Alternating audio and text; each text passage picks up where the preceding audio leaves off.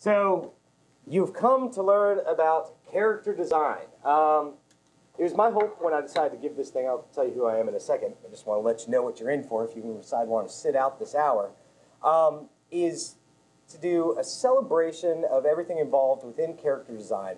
And if you're someone who's just learning this or just interested in this pipeline, you're going to walk away with a ton of buzzwords, a lot of stuff to be able to go back and YouTube later on, and um, yeah, to be able to follow up on. It's going to go really fast because when they tapped me to do this, the Georgia Media Workshops did.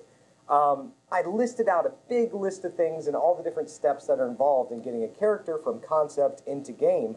And the email I got back was, "Okay, sounds good." And I was like, "Okay, let's let's see if we can do it." And so I gave myself a personal challenge to see within two weeks if I could take a character from concept and get them all the way through into moving in animation. So I hate tutorials online when you look at them and they don't show you what the end product is actually going to be. So we're going to start here. Uh, well, let me do my introduction first. So I'm William Moritz. Thank you very much for coming and listening to me talk today. I've been a professor at the Art Institute for six years. Um, I'm freelancing right now. I'm a subcontractor for Bosch and redoing all their saws and heavy machinery and stuff and doing the 3D modeling and product design for that. Um, I've worked in the gaming industry before. I came back from San Francisco to be a creative director when I was very young uh, for a celebrity interactive gaming company.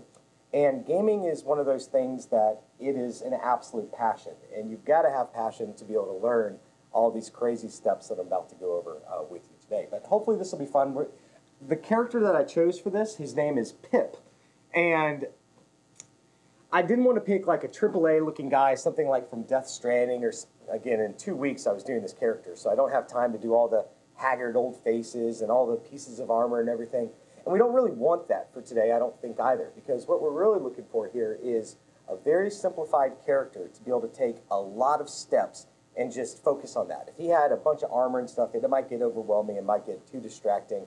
And we just want to take a bare minimum, you know, Mega Man 11 just came out when they released it, it's 3D, but it's still a 2D side scroller. And I think that there's definitely a resurgence in this style of character, this height of character appearing within indie games and other gaming platforms.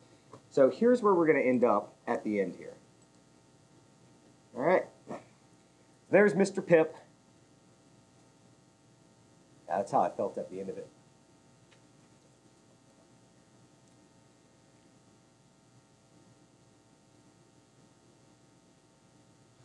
There he goes, just hustling about. We'll explain to you who, who Pip is here in a minute and why I chose these particular animations here. So there it is. That's where we're heading to. How do you get to this phase within animation, within gaming? At this point, once it gets to this level, um, I've got the animation baked out. All the keyframes are in there. I can export an FBX and import it directly into Unity. It's got its texture files, which are all baked and separated out, and those can just be applied within there, and you're going to be good to go. All right, so you've got your actionable move sets that you can do. Right on. So here is what it takes to be able to get Pip into the move state. So from concept into game. In the beginning, in step one, we've got the game concept. What the heck is your game actually going to be about? Um, after that, you start developing who the character is, what the look, the style, the world building, which is one of the, I think everyone, especially if you're just getting into this, is one of the most interesting, interesting portions of game design. After that, character reference, uh, we'll, and we're going to do a little deep dive and just sort of skip rocks over each one of these. Um, after that, character sketches. Get a bunch of different looks and feels for what your character is actually going to feel like. After you get a character reference going on and you get some character exploration, um, then you're going to want to do them in a lot of different sketches, a lot of different poses. Test this guy. Make sure that you know what he looks like from every single angle. Um, after that, you can jump right into ZBrush and you can start building your character. From there, it gets crazy. You're going to start doing a back and forth between ZBrush, Maya, and today I'm using Substance Painter. So before we go any further, let me explain that I know there are a lot of other pieces of software out there that you can use and like Marmoset, you could use um, Retopo or Topo Gun. There's all kinds of different pipelines for this. This is the one that I happen to use today. So if you're more familiar with one, I think what you're going to find is that the overreaching themes are still the same for all these programs. So if you are writing in this stuff down, and, and I see you take jot some notes, again, that's Maya, ZBrush, and Substance Painter are the big three that I'm going to be talking about uh, within this following presentation, where we're going with it. Okay? So let's do the, uh, get the fun stuff in there. So Pip is a Victorian street urchin who becomes a legend. That's one sentence, one phrase, and instantly we've got an idea of who this character is. That's it. It's summed up in one sentence. We know where we're going. You've got the picture. You've got the artful dodger in your head. You know, we, we've all seen characters like this before. How do we iterate and expand upon that world? So, you got an idea of what you want your game to be about. This is Victorian era London, so this is not a good time to be a street urchin or an orphan. Uh, this picture on the right really did a lot for me when it comes to getting the direction of what kind of world Pip is actually existing in, right? It's not the prettiest thing. He's sleeping on the streets, but he's still a smart kid. So within the game, now you can start thinking about, you know, what are the mechanics? What do I want to accomplish within this game? So learning to rob uh, for his gang would be a part of it, and also learned to like rob for his keeper at some point. Mid mid game boss, he overcomes the guy who's in charge of his group of rascals and takes over the gang or something like that. Whatever you want. So from there, you start to get some interesting things, the mechanics of the game, and start thinking about this from the very beginning initial concept. Is this a stealth game? So does Pip have to walk around and be stealthy when he's stealing from people? All of a sudden, you start to get a resource management type game. So what kind of items is he stealing? What does he get to do with those things once he steals it? Is he stealing stuff, selling it? Where do you sell it from? And all of a sudden, this world, just from these couple initial ideas, really starts to come to life and starts to build. All right, so now I'm starting to get an idea in my head about what the environment is for this world, right? So we're thinking Victorian London, steampunk, always popular, right? And forever. You've got lots of smoke, you've got dark city lights, you've got people in trench coats, shadowy figures, and you start to get sort of a color palette, palette going on here with those earth tones. So that is why I ended up going with the color scheme that I did for Pip, because I wanted him to be able to stand out against those dark kind of London gray bricks and streets.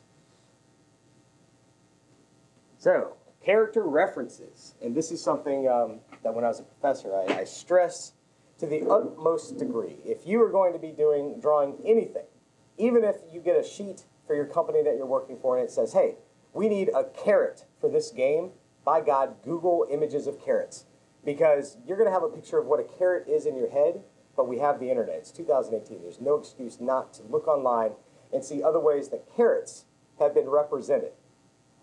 And it's going to give you a lot of different ideas. So going into this, I began with costume references, trying to get in the mood, trying to get in the feel for Victorian London. You know, what were the little kids dressed like? Because I really had no idea. I mean, I could kind of pull it out of my head, but once you actually start doing the, the groundwork and just some fun quick Googles, um, you're going to get a much better idea. What do the haircuts look like? What was the predominant little boy hairstyle during this era? Because they weren't wearing the white wigs or any of that stuff. Like, you know, we know what the, the fellows look like, but as far as kids, where did they exist in society and how were they seen? So now, going on to the costume references number two, I'm starting to pull a little bit more, right? I'm starting to look in here, and we've got pictures of this gothic kind of looking kid, uh, very noir with the wolves, right? you've got Sherlock and, and Watson. You've got a steampunk robot with the Doctor Who red scarf on. And all this is just sort of informing me about, I'm, I'm having conversations with it while I'm looking through it and collecting it. If it's interesting to me, I want to save it at this stage and say, okay, maybe this could be a background character. Maybe this could be someone else who shows up later on in the game. Maybe there's something in here that I can pull and use and it's going to influence my design decisions down the road. What I'm trying to say is that we're keeping it very, very broad at this point. From there, I want to start narrowing in my focus and really getting an idea of what type of character I actually want to draw, right? I kind of already knew that I wanted to do a three heads high character and maybe I'd see something online that would change my mind. But at this point, like I said, going back to the carrot, how have other carrots been represented? So here's just three quick photos of sort of a street urchin, a beggar, some a salesman, very different styles. At this point, I could have ended up doing something like this. I think this would have been fun. This is a really relevant style that's going on in this world nowadays. But, and a lot of times, you get the little innocent uh, looking looking beggar fellows, the little sad boys, tuppence, tuppence for the poor, on the street. And uh, but the one that I really liked is this one that is very very much off model from anything that we had in, in here previously up until this point. But what I loved about it was the relationship of the head scale to the body and the sass and the facial expressions that they were making with this character. Because I started thinking to myself, like, you know, finally it's time to start drawing. I started thinking, like, okay, so maybe he is the good old boy, uh, you know, thief with a heart of gold that the audience just falls in love with. Could work. Next up, a different character style altogether, sort of um, Adventure Time or just sort of that, uh, I, I, don't have a good terminology to describe it, but you know what I mean. There's a style of animation that's pretty prevalent right now. Um, and, and working within that world and to see how that might work. But I thought he looked like a little bit of a doofus, and I didn't like that one particularly. So on the second one, now we get into sort of the, the two big guys. I really love the one on the right. So he's got kind of a gypsy pirate king type feel to him. And then the one on the left is the one that I ended up going with because I felt like he was aspirational. That if he's a street urchin during, you know, in London during the Victorian era, and he's trying to rob, he's trying to con people and things like that, he can't come off as this little innocent fellow. He has to have some kind of like dapperness to him. He has to like want to aspire, be able to at least like try and fit in with the upper class, or however a little kid might try and do that. And that's what I want his costuming and his kind of demeanor to reflect. So I, I felt like uh, this was sort of the strongest one to go with. And this is a great stage if you're working in a gaming company to sit around and have a roundtable discussion about which, which way you should actually go. It'll save you a lot of time to get all those feelings out there on the table instead of three months down the line when you've got a full 3D character and they say, oh my gosh, no, well, we actually make him a pirate king. I think this might work a little bit better for us. You don't want to end up in that situation. So talk about this stuff with your entire team, your friends, get the feedback, Art does not exist within a vacuum. So here we go. We went with this. We're going from sketch into the color and the exploration. Now, if you're doing this in a studio, you're going to do hundreds more of each one of these, these steps. You're going to do a ton of different exploration drawings and sketches. You're going to put them in every situation you can. The more you do, the better your character is going to be, the more life you're going to breathe into him. Um, you can see that he's getting a little bit off model, but the first one, let's go back up here. Each one of these steps is important. On this guy, he's got the little Madonna gap tooth, all right? And I really like that. I thought that gave like an innocence, uh, sort of a, a, youthful demeanor to the character that in this first drawing of him that I had, you can't see his teeth. You don't know what the inside of his mouth looks like. And so I wanted to go back and apply that to this character uh, later on. So you're learning things from every little step and every little section along the way. So now we've got the color, but video games nowadays, we know you get to pick the colors on your characters in almost every game that you play. So later on down the line, you can have the programmers change the pants color, change his hat. He can buy in-game gear. He can, you know, look like a peacock by the end of the game or be running around in a, in a spider pig costume.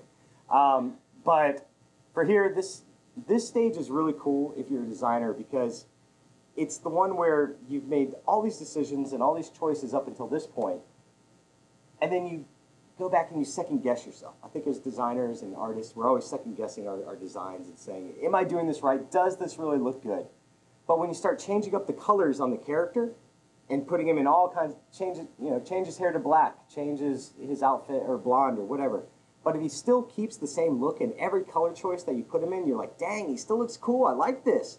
He looks pretty hot this way as well then you know you probably have a pretty strong character design. It starts to fall to pieces as soon as you change one color on it, um, it might not be the strongest design in the world. I'm thinking of Superman right now, but when you put him in all black, uh, he looks pretty cool too. So, so just to reiterate, the steps that we went through here, we've got looking at the costumes, getting the mood and the feel for who our character is, building in the personality, again, from the central and the beginning sketches after that, looking at archetypes and how beggars and children beggars have been depicted within art before, and where do we stand in relationship to that? Do we want to carry on the regular archetypes and what a beggar has always been within art and media, or do we want to add something new to the ongoing narrative of that? Um, character shapes, looking at all different heights and styles. What is our, our final look and feel going to be like? and then getting into the details and the attitude and exploring different color options. So once you've done all that, you know who your character is, you've got your exploration, going through, and it's a good time now to jump into ZBrush and begin modeling. So for anyone who is new to ZBrush or has used ZBrush before, these are some, if you know ZBrush, this is gonna, you're gonna go, oh God, yes, this is the stuff that we deal with all the time. If you're new to it, write those words down because that's gonna be the stuff you're gonna be Googling later on, I guarantee you. So Z-spheres, what the heck is that? I'll show you in just a second hitting T. It's kind of odd, but if I could say anything about ZBrush, it's one of the most finicky, unintuitive programs that's ever been created that fills a very important part in the gaming and character pipeline now. Um, but there's just some weird stuff to it that doesn't make a lick of sense, man. like after you actually draw a character in, having to hit T to be able to modify that that character, like stamp it in there and get it movable and editable subdivisions and subtools. If you don't know ZBrush, they, they sound sort of similar. A subtool in ZBrush means a different object. So it means the hair is a different tool than the rest of the body. Each one of the eyeballs is a different tool. A subdivision is how the topology, the squares, the, um, the quads that make up the character, actually move across. And within ZBrush, you have the ability to be able to subdivide your character and take it from, you know, 400 quads up to 4,000, 40,000, and so on. Letting you get more and more detailed as you move. So this is the beginning of Pip within 3D. Humble beginnings. It looks like a stick figure, right? How, if you guys are into drawing, how many folks have you heard say when you tell them you're an artist, they're like, oh, the only thing that I can draw is stick figures. All the time, right? So if that's it, then you can say, well, then you can probably do ZBrush. You can at least get started because that's what you're making it here in the beginning with these Z spheres is this type of character. From here, you have to go in and you have to click on something called adaptive skin, which is actually going to turn it into the mesh that you can use. The Z spheres are not the mesh that you're going to end up drawing in. It's going to recreate it. It's going to create a new tool. You got to load that in there. It's just kind of a weird step. But once we've got our mesh in there, we can start roughing in our character. It's going to look really rough. This is why people, when they're first starting out, a lot of them, a lot of the schools, they'll teach you Maya at first, and the students go in and they're like, oh my God, this is radically different than anything I've ever used before in my entire life. I don't like Maya. They learn about ZBrush. It feels like sculpting with clay. It feels more like drawing. It feels more like a traditional medium, and they gravitate towards it. Even though ZBrush, in my opinion, has got some weird stuff in it for the UI, UX, and the user experience, they love it. So you're going to start sculpting this guy out of clay. Continue with the subdivisions, refining it, adding more detail, getting it to a stage that you like. And once you're ready, you're going to export this fella from ZBrush into Maya. So now we're in the big pool of 3D stuff where you can do the rendering, you can do the animation. It can handle a lot of different things. And they've, it's got a lot of different capabilities to it. ZBrush, mostly for the modeling. You can paint in there, you can do hair, but there's, so this is where the part in the, um, the presentation, it can segue. So you can go into a lot of other programs outside of here uh, to be able to do what we're about to do next, but I want to just explain to you why this step is so important. So computers, of course, have gotten a lot faster over the years, and they can handle a lot more polygons than they could in the past, but the level of detail that we're seeing within things like Death Stranding and those cinematics and you know the 3Ds that's going on within films is it's so dense, it's so hyper realistic at this point that it would be millions upon millions of polygons. We're running this in a game engine, we have to have a much lower density polygon count on the character so that the game can run smoothly and we can all be happy with our 60 frames per second. So that's what I'm, my goal here now is moving my character from ZBrush into Maya. When we look at a close-up of this, it's got too many quads. So I'm sorry if this, this light's a little bit difficult for us to be able to see. Hopefully you can see the green mesh that's going over the top of this character. And these lines, it, it doesn't look much like a character at this moment, but these, these lines are way too dense. They're not moving in a way that we'll see in a second. That's really going to be able to allow the character's face to be able to animate, to really be able to get smooth deformation when he's moving around. So here's an example of the quad draw process, and I'll show you a little bit more about this in a second if you've never heard of it. What we're going to do is we're going to take our high density model we're going to make it live, and I'm going to start drawing little squares, little dots. It's just connecting the squares all over this entire character. And we're trying to get a new mesh that's going on. So between the top one, look on the right hand side of his half face, you can see how many squares we've got. And now he's got considerably less. Save that to the end, buddy. Um, and what we're going to see is uh, that the lines on the face are moving in a different way as well. And there's a reason for this so that the face will be able to morph and move around. Here's another example of connecting the dots in quad draw. Never seen this before. Here it is. So we start working our way through them. And I'm doing it in strips so that I can just fill in between the different sections. These three green little dots are just little clicks that I made. I hold down the shift button, hold over it, and it's going to put in a, a polygon inside of there. And I'm trying to just, again, limit the polygons on this character. So here's the before, here's the after, when it's smooth, and this is a, a more reasonable representation of what I keep trying to describe when it comes to the flow on the character's face for the lines. So this is a cool thing. If you've never seen this before, if this isn't your expertise when it comes to the art pipeline, that blue strip that's going from the character's forehead all the way down to the chin, this exists, this topology method, um, on every type of character you can imagine. So not just humanoid figures either. Even if you look at like some of the 3D models from Zootopia that came out, and you can find pictures of the, the topology for them online, an alligator or humanoid alligator and things like that, if they're going to be talking or moving or really construing their face, I can't think of too many examples of characters that do not follow this pattern when it comes to the topology in their face. They can still have the very long snout extruded, but you're going to have that strip going from the top of the forehead down to the chin. You can look that up later or check it out on your phones right now if you like. It's pretty cool. So there we go. We've retopoed our character. Now, going back from ZBrush, this is another one of those segments in the, in the pipeline where it can branch off, and there's various other programs out there that will do it. For this today, I used ZBrush and the UV master uh, to be able to get my high density UVs out of ZBrush. So what is a UV? Well, a UV is what's holding and placing the texture information and it is a flat representation of our 3D character.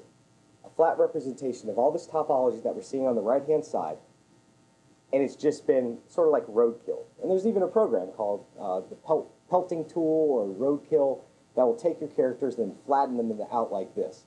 Uh, I don't think that's the one that I end up using in the end, but it gives an example of how we're going to flatten our character. From there, I can take my flattened character with his UVs, already created, and bring it into something called Substance Painter.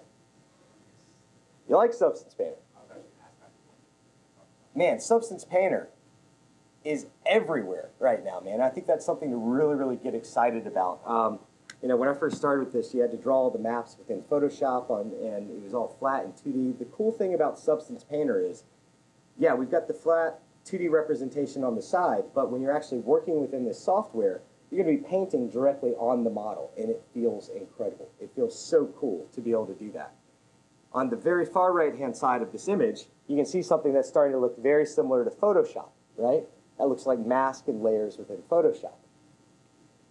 They could have made it like Photoshop where you just create the layers, but unfortunately it's not that intuitive. When you start off in Substance Painter, you're going to drop one texture onto your character. This happens to be the skin texture. And then you're going to start putting stuff over on, on top of it. Now the way that this works is you create, you right click on this, uh, this skin texture. It's going to come up and it's going to say create a black mask and you right click on it, and then it's going to create the little black mask off to the side. And You're like, oh my gosh, finally I can start painting. This is great. I can finally start painting on my character. This is what I know this program does. But for some odd reason, there's a weird step that you have to do. You right click on your mask, and then you go all the way down to this big drop pop-up that's going to come in. It says apply paint. And you click on that, and that's when you can finally go in and start painting onto your character. And then you start layering it up. There's all kinds of other cool stuff that you can do with this. It works great for objects as well. So within the right? I think we're all, hopefully we're all watching these. I keep coming back to it. Death Stranding, I, I obviously am very interested in that video game, uh, whatever it's about. Um, right? So when you see the when you see the latest cinematic that they came out with, if you pause it, the backpacks that they're wearing, any piece of metal that they have on their bodies, it's a dead giveaway that this substance painter is being used. Because on the metal, um, you'll start to see the little chips of paint around the cracks and the edges. And this is something that substance painter, when you have good UVs and it's laid out in a smart way, very logically, uh, will create those little chips of paint and that wear and tear around the edges of, of your object. So it's not just for character drawing, it works great for environment pieces as well. It's not just being used in AAA games. If you look at The Force Awakens, the, the first new launch of like the Star Wars films that they came out with, that pirate queen, can anyone remember her name? Maz? Kanata, thank you, thank you.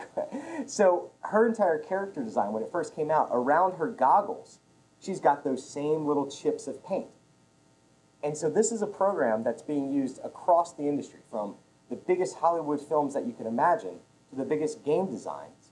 It's a really good one to know right now. It's going to be around for a while. This pipeline, this step in the pipeline is not going to go away anytime soon. So I highly recommend looking up some tutorials if you haven't already. The learning curve on it, compared to Maya, it's very simple. Compared to ZBrush, nothing compares to ZBrush. That, that program is screwed up. So, all right. So there we go. We've done, and the, the, the next cool part about Substance Painter is that it's going to allow you to be able to go in there and you get to export all your different maps. So check this out, right? So here's just some quick details of like what you can get in there and why you might want to use it. So it does felt, it does cloth stuff really well. We can see some micro bumps that are existing in there. It allows me to be, be able to do another layer in here with some dirt. Um, there's a very rapid hair texture that I put on him just to have something. And, uh, and then over on the right-hand side, I just want to show some other objects flagged out. So this is his hair, but that's the UV map of his hair. Here's his hat. Here's his hat flattened out, and that's what it looks like. Okay? So this is what this step is all about, the, the underbelly of it, right? We're trying to get a couple different types of textures that we can plug into our character. So all of this is for something else, right? Every single step that we're doing has been to be able to get to that next part. And these are the files that we're really interested in getting out of Substance Painter. There's a lot more that it can export. It can export like probably 13 different maps and you can plug them into all kinds of crazy places. For this example today, we're using a very small collection of maps and that sort of represents the core ones that you really want to be aware of. So of course the color, you spent a lot of time painting this thing, you want it to look good. The specular, which is going to give the way that the light is actually refra refracting off of the object. Uh, so what's shiny, what's dull, and that makes a big difference for the way that we interpret materials. Uh, deformation map and a normal map. So the deformation map, this is one of the coolest parts uh, for something that Substance Painter can handle. We did all that work to be able to get our high poly character into a low poly format. Within Substance Painter, you got the ability to be able to import your high polygon character and then bake the map, bake the detail onto a flat 2D image, onto your UVs, and then hold on to that high level of detail, and then export that map, and then apply it, all that detail in a flat 2D image with black, whites, grays, raised and lowered, or in normal maps with three different colors, uh, showing, yeah, and it's going to work on, on, your, on your lower resolution character. So now we are jumping back over to Maya, exporting this character. I've got my maps, and I'm just plugging in the textures. So, never seen this before, this is what the, uh, the texture library now looks like within Maya, or the Hypershade section. So this is our main material representation, not the most realistic thing for what it's going to look like, but it's being applied to this character. The UVs are the most important part for him. Over here, we've got our different options. This is our main texture within this section. I click on the little uh, checker box within Maya, and it opens up the nodes for me to be able to plug in my texture file, and then I've got another uh, placement node over here to be able to apply this stuff. and there we go. All those crazy steps to get a functional character that I can actually start animating on now. But we're not ready to animate. There's some stuff that happens when it's time to animate the character, which this will go on within Maya at this point.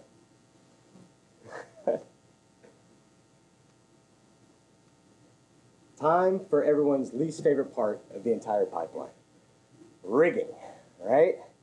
And I told you guys from the beginning, this would be a lot of buzzwords, a lot of kind of general overview. We can't go into all this because most of these things, when you're in a university, this is an entire quarter's worth of information that we're just skipping over within an hour, right, for each one of these sections that we're talking about. Uh, rigging is one of those things that if you decide to be the lunatic who wants to fall in love with it, you will find a job you will go out there and someone will want to hire you because you're doing the thing that no one wants to do. You're cleaning the toilets of the 3D world. yeah. Uh, I know how to do it. It's not my favorite thing. I'm not going to say that I'm an expert in this um, in any way, but there is a lot of work out there for this. And over on the right hand side, we've got some, if you're new to this, some new words weight painting, parenting, character tools, and facial rig. So talk about the joints, right? It's pretty cool. I remember seeing this back in the day. Maybe you've all seen a behind the scenes video on like a Disney animated film or something like that. And you see them working with these characters and their joints. They actually do have a skeleton in them. So in a lot of ways, they start to become like uh, a stop motion figure that's got the wire frame on the inside of it, like Kubo or something. Um, and what you end up building within your, your model is a character rig on top of that that's going to be driving those joints. So the joints are attached to the skin, the controls are attached to the joints, and that's what you're going to use. Because if you're trying to animate this guy with just grabbing the joints and moving them around, you've got a big character on the outside and you're interested in what his form is, how he's actually going to be posed. You can't go in there, look at a wireframe, grab the joint every time. You need something on the outside to be able to quickly grab, select, and move around. Now, Maya has included uh, something called the character tools recently, which does great for motion capture. It'll build a full body rig on your character within like a couple couple button clicks, and it's it'll give you the IK and the FK buttons as well, but it does not include a facial rig. That would be incredible, right? If you could just you know place some nodes on there, and then all of a sudden you get a full facial rig on your character. It doesn't. So for the sake of time within this uh, this demo today, I used the Maya character builder on the bottom portion of this character and then did a very, very fast facial rig with some controls on top of it uh, to be able to get the guy moving. So that's something that you can do if you are new to this pipeline and you're just trying to get into it. Don't mess with the facial rigs. They're a completely different animal. But you can take Maya's starter rig that they give you, do it in stages. It doesn't have to skin it right away and do all the weight painting on it right away and you can build in, build up on top of that base rig that they give you, which is what I did in this one. Okay? So now, weight painting. And I think this is probably one of the things that, if you've ever tried this before, has been the bane of your existence. So this idea of weight painting, you've got your bones inside of your body, we've got our controls set up, and we start moving our character, all of a sudden you're going to see that when you move his arm up to the side, you're going to get a huge piece of geometry that's going to inflate like a blowfish because all this stuff, these joints on the inside are influencing, and they've got different pieces of the, the, the topology or the polygons that they're attached to. So as the character's arm comes up, that joint is saying, okay, I'm within this region, this white region that you can see on the character. I'm touching and influencing everything in that area. And sometimes that becomes a cloud and starts to pick up some stuff that's not necessarily close to it. So you've got to go in and you've got to pull back the reins on a lot of these joints and you got to say, all right, well, I'm going to paint you out. I'm going to make you black so that you know you don't you're not going to be affecting this area of my model. And it gets really tricky. Every now and again, you'll get a, a stray vertex or something like that that's going to stick out into a triangle, and no matter how hard you try and paint around it, you just can't get the little brush to land on that on that triangle, especially around the eyes and things like that when you're doing a facial rig. So then you have to go into the component editor, and then you got to select that one verse, and it becomes just, it becomes madness. But fortunately, we picked a very simple character here today, so he wasn't that hard to be able to paint. So now, you've got your character painted, he's moving properly, you've got your rig built, you've made it to the stage where you can animate. What a journey it is, right? Just to finally get to that part where we can breathe some life into our character and get him moving, all these steps. So you start animating them. You do, you know, with anim animation, we really don't want to put in too many keyframes at first. We want to keep it light so that we can edit it and stuff is got some type of system with the way that we're putting these keyframes within the animation. Once you've got your animation looking good, you're going to go in and you do something called bake the animation, which you grab the, the geometry, and now all of a sudden the geometry is going to get baked in that position where it's no longer dependent on the rig. You can export these animations into a plethora of different things, but it's ready to be exported as an FBX into Unity, and you will be able to, uh, to make your character run from that point. We did it. So let's check him out one more time with him moving.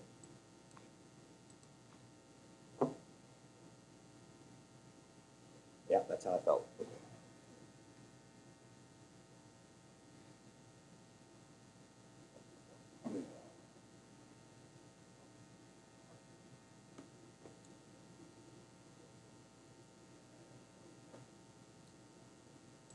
So, let me say one more thing about these animations. Um, I ended up using something called Maximo, Miximo. I've never really heard it said out loud before.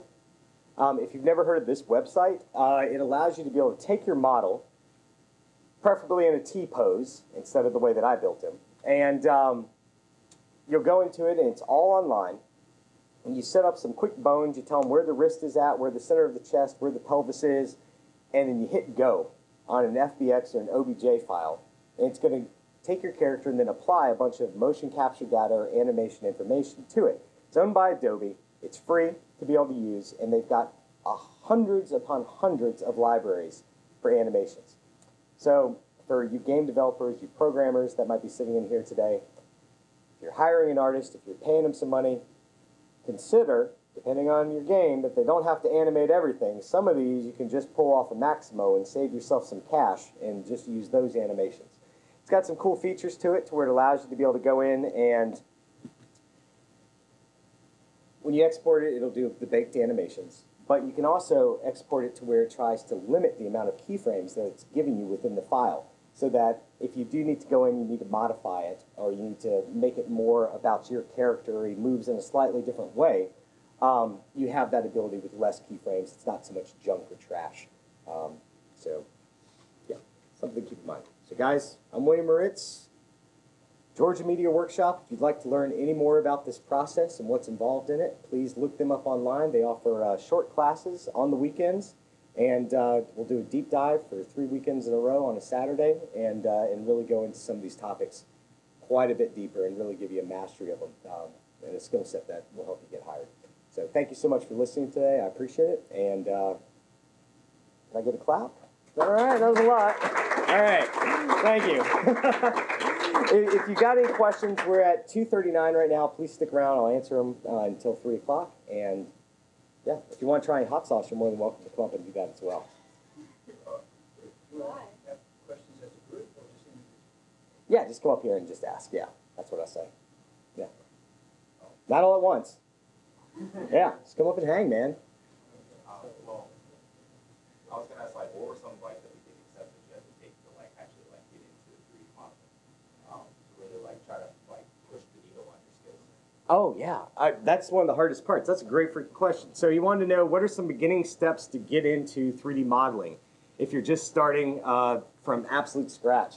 I think the hardest part for that is figuring out what the heck you actually want to model because we see the stuff like Death Stranding and things like that out there that are these high density models. You're going to try it, you're going to go up against this Mount Everest in 20 years worth of skills, and you're going to fall flat on your face. Now it's cool to keep trying to you know climb Mount Everest, but at some point you have to get in the climbing gym and you just got to boulder around, man. And that's what I'd recommend. So when I first started doing uh, 3D animation was way back in the day when AOL used to come on like floppy disk. And I remember using like Poser and Bryce 3D and Rhino 3D when it was in beta. And all these programs were just getting start were starting out. And each one of them allowed me to be able to learn how to be able to move within 3D space, how to be able to quickly create an object, how to be able to apply texture to an object. And I'm not really answering your question, I'm just tooting my own horn right now. So, the, the thing that I would say is all those buzzwords that I just started with today start with something very simple, man. If you can make a sphere within 3D and you can move around that sphere, make it look like Pac Man. If you can make Pac Man, you can make Miss Pac Man. If you can make Miss Pac Man, you can make the ghost. If you can make the ghost, you can animate him, you can start getting the mouth to open up. And you can start building your way up in complexity with characters from there. And then, like a follow-up question to that is like, what are your more traditional skills for artists that actually are more useful in three D modeling? Hand skills, man. Hand skills are what it's all about. So being able to go in there and do eye measurements. Um, you know, if you can do a still life really, really well, if you can look at a texture and see what colors are really in this beautiful sauce, you know, that's going to matter. That's going to help you out. And the more you learn, the more you fill your, your mental library up with traditional drawing and design skills, it all applies because that's what this is. You know, there was a time 20, 30 years ago where gaming, computer art was still very much in the realm of the engineer and the computer scientist. But over these past 20 years, these tools have developed that have given the designers, the creatives, the ability to be able to work within this form. This is how it always goes. And so, at this stage, having a strong design background and design foundation is going to do so much uh, for you to be able to like push forward with this and, and really excel at it. You know, always keep going to. The, I know folks that are working for Hi-Rez and all that, and they still go to character sketching classes. You know, they still do digital paintings on the side, even though their job is a UI UX designer, because all this stuff just feeds feeds the beast, man. Yeah. Anything else? What else you got? Yes, sir. Uh, Yeah, you had one from a while ago. You held on to it this long? Yeah, All right. What is it? uh, it was regarding, um, ZBrush. Okay. Was it just used for reference in Maya and then you like modeled on top of the ZBrush model? Or what was the, like, the role? Oh, great. Okay, so it's crazy, right? You do all that work, you get this nice high density model, you make it look beautiful. Because again, imagine if we were doing something that's like a Metal Gear Solid character that's got layers upon layers of detail within it. Then all of a sudden I go in Maya and I'm just destroying all that detail. That doesn't make a lick of sense, right? That is just spinning your own wheels. That's insanity. So what you end up doing is you take your high resolution model from ZBrush, bring it into Maya, you're going to do this quad draw process to where you lower the po- polygons and get the topology, the edge flow working really well, especially around the face. When you move back into Substance Painter, that's going to give you the opportunity now to be able to take that high resolution model, you'll import it into Substance Painter, which is designed to handle, just like ZBrush, these high resolution models in a way that Maya isn't really. And you're going to project that character onto your low poly model. From there, that's when you create that flat map. So the maps work to where gray is neutral, it's completely flat. White is raised, and then the black gives depth to things. So this is just the normal maps are a little bit different, they just add a third color to it. But you're creating a deformation map. So now all those little wrinkles, all those little skin pores that we had on this character previously, it gets applied through this deformation map and that's what's going to give you that intense detail that we created within ZBrush. Yeah, man. Oh, three in a row. You go first, dear. Okay, yeah. Um, do you have any like any like specific websites or videos or resources as far as learning these programs or learning to do um, Okay, so name something you want a 3D model.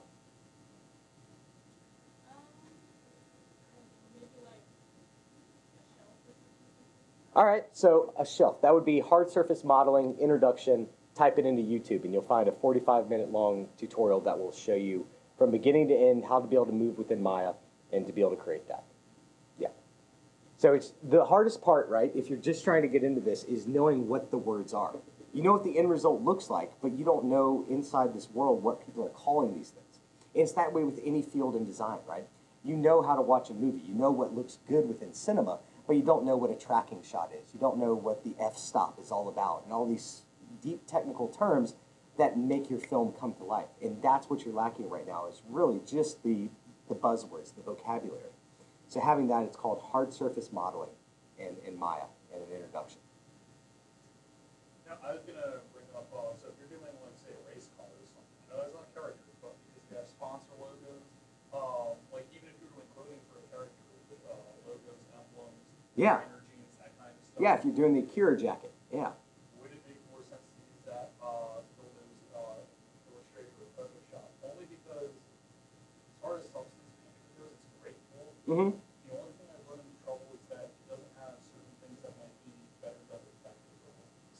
Okay. And I don't know if you have Photoshop as part of uh, pipeline. And this one, I didn't really have to touch Photoshop at all with it. But yeah, that's certainly a way to be able to do it, and I've done that in the past. So there's a cool thing that you're allowed to do within uh, within Illustrator that you might not be aware of. You can take that vector information that you create within Illustrator, you can export it, but you have to export it as like an Illustrator version 8. You can't do like Illustrator CC. You have to like back save within Illustrator. And then you can bring that vector information, those curves from Illustrator, into Maya, and then you've got your entire text, your entire logo, whatever the Akira pill that's on the back of uh, Kaneda's jacket. Yeah. So Yeah, that- and I would bring that up because some of those things might be hard to create in Substance Painter, especially like the resolution lines. Yeah, it- you realize, hey, I screwed something up. So you do have the ability within Substance Painter to set the resolution of your map. So these were 20, 2048, but you can go as high as you want with them, which will, will help that a lot. But that's going to, of course, add more information and more load time to your character. So it's always a balance between that.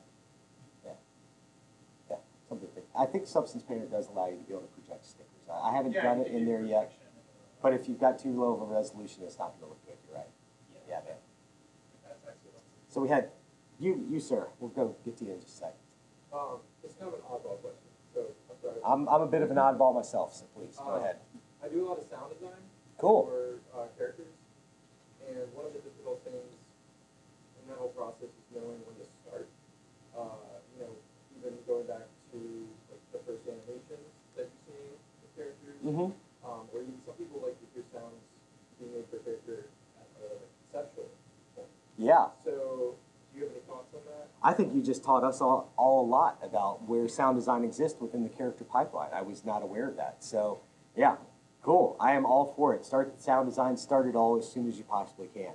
Yeah, get your storyboards out there. Get your, you know, as soon as you, as soon as you get your character designs figured out, go in, let the background artist go to town, let the storyboard artist start going, let the 3D modelers start going, start building all the bits, bobbles, and, and dongles that are going to be in the game, start your icons, and just run it all at the same time to be able to get it out on time. Because you're going to have that CEO that comes back three months in and is like, no, it's all wrong. It just doesn't feel right. We got to look at this all over from the start, from the ground up. Now these games are popular. Can we add this feature? And you're like, oh my God, what are you doing? Let's just launch it. What, what's your question? So I have a character that is uh, modeled, rigged, and skinned and ready for animation. That's the whole thing. Mm-hmm. Uh, this is, I'm new to animation, so this is all in Maya. Um, Cool. how do I? So I have an idle animation, right? So now Mhm. I can create a movement animation. Say. How do I create that second animation without doing my first animation? Open up a new file. New file. Yeah, so you should have a, a base animation. Before you start your animation, your idle animation is called, you know, pip idle 2, right? But then you've got another file before that that's like pip base, and it's just him chilling in his T-pose. Then all of a sudden you're going to go in and you're going to create that walking, that walking animation. It's going to be something else, idle 3. And then you're going to export each one of those within to Unity so that when you the player clicks the W button, all of a sudden we get idle number 2, right? When he clicks right, we get the run. Okay. And so each one of those animations is going to end up playing. Then there's also blend animations that happen between each one of those actions because you can't just have the character all of a sudden idling and then he's in the running pose. It's going to look really weird. So lots of little steps. Yes, sir. Um, how many description words do you usually work with when you're doing your, uh, like, sketches, uh, references and all this stuff? Like, like, so when you're doing, yeah, like, when you're doing your descriptions for, like, your sketches, like saying, oh, yeah, it's like I wanted to be goofy and, but be like, uh, dapper and all that, like, how many words do you usually try to strive for to work with that? Like, if I increase that to four, will that be too many words? for it? Oh, that's an interesting point. Um, I would say that it, it's more of an emotional connection that you're trying to build because you are in store for hours upon hours of fun if you want to take this guy all the way to the end of the pipeline. So you need to start kind of dating this guy, right? You need to start asking him like who he is, and he's not just dapper. What is he? While you're sitting here drawing, you know, you're having little scenarios in your brain. How would he react to this situation? How would he do this? What happens if he gets? What's a negative effector in the game? How does the character react? Does his facade of being this, you know, verbose, like really excitable, like person just completely crumble when something you know goes wrong, or does he maintain? Is he brave right up to the end and defiant? You know, and and start thinking through him in that way. So it's not a, a word set. It's really just having daydreams, man. Like that, that's the way that I like to think about it. Yeah. Yes, sir. Um, so from like an employer perspective, let's just say just off the bat, someone says you need to make a new team already. What are some key, let's say like, like skills or like things that you look for in someone's portfolio, or really just your skill set? Say like, you know what, I want that guy. Like he has these tools that I need Mhm. for actions working in professional market. Yeah. There's like someone that can just like you know that can run, but they don't maybe not perform in running or don't understand like, I am running. So like, what are some things that you look for as an artist if you want to build a team Man, so that depends how much money you have, right? I think that's the biggest deal first. Um, you know, if you are a small gaming studio and you're just getting started and you want to bring somebody on, um, you know, look at their portfolio. Right now, I was just having a, a talk earlier today with a former student of mine who was having a lot of trouble um, getting a job outside of school. He's an incredible illustrator. His illustrations are phenomenal. And but all these other studios that he keeps talking to are saying like, oh, well, why don't you try doing some stuff in our style? And I think that is such a joke. If someone says that to you, they shouldn't be looking at portfolios. Like, if you can't look at someone's art and see from the design perspective the design skills that it takes, the way that they're handling their rendering, their blending, their shading, their proportions, do the characters have weight? Do they do they look like they're coming alive on the page? Then yes, they probably have the ability to be able to do your style. They can do that. So you're looking for those principles of design. You're looking for that ethos. You're looking for something that really excites you and just makes you move emotionally. And you're looking for the intelligence in a designer. So that's why, you know, I said look at references of everything, because if you're just doing, if you're doing a carrot just out of your head, it'll look like a carrot. You all know what a carrot looks like. But if you look at references, suddenly you're going to see 200 different representations of what a carrot can be or what a carrot has existed as on the internet, and you're going to add something new to that conversation in the world of carrots. so you're going to end up like more complex example, right? We're doing the Predator UI on his arm, right? If we start with that and we start drawing it, it's going to look like the 1980s. Going to have the square buttons on it. It's not going to be very detailed. But all of a sudden, if you start looking at other references, fan art that's been created over the past 20 years, you're going to see that the UI, UX, the shapes, the different ways that they think about the screens, the different raised and lowered levels on it, the way that the wires move from one section to the next, even though it's all Fox, sci-fi, and machinery, and you're going to start to develop a visual vocabulary in your head that is very robust. And when you see something like that, when you see design that's had that kind of consideration given to it, that's who you want to hire. I think that's the best, most honest answer you're going to get through this weekend. pushing those design principles, really trying to show the job you understand. You're communicating your design intelligence and, and your, your soul and your breadth and your ability to be able to take a design from start to finish in your portfolio. So make sure you got some smart, unique stuff in there that's going to stand out from the crowd. And I'm not saying do a giant Grim Reaper that's you know bloody, he's got skin hanging off of him, unless you don't want to go work for Tripwire. uh, then, then that that's where you need to be. That's what needs to be in your portfolio. hey, I'm sorry. I would ask the yes, sir. Uh, So, uh, as a voice actor, Yeah, yeah. To answer your question about sound, yeah. when, uh, would you, in the character building process, when would you ideally like to have that conversation, that collaboration, or is it always a tack on it again? I'd say as soon as possible. Yeah. Because, I mean, look, that is one of the most unique things out there right now when we look at the Overwatch voice actors. And they are freaking rock stars. I've never seen a phenomenon like this happen within gaming before, to where people will meet them at these cons and they're, oh my gosh, I just met Lucio. And it's like, stop it, girl. Like, it's, it's just a voice actor. It's not that big of a deal. Like, you know, the person who does Bart Simpson has done hundreds of different, like, character animations at Dragon Con, or character voices over the years they have a very small line, but if Lucio shows up, it's like 300 deep.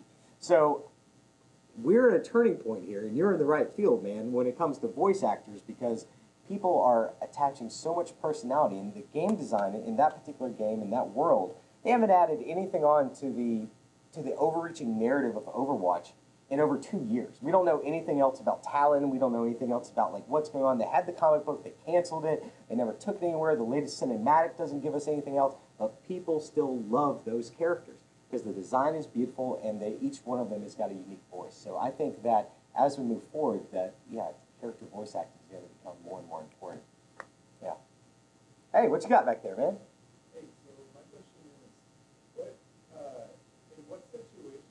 Would you do modeling in Maya versus Blender? Like, would you ever do like rough sketch in Maya and then do, in, I mean, Yeah.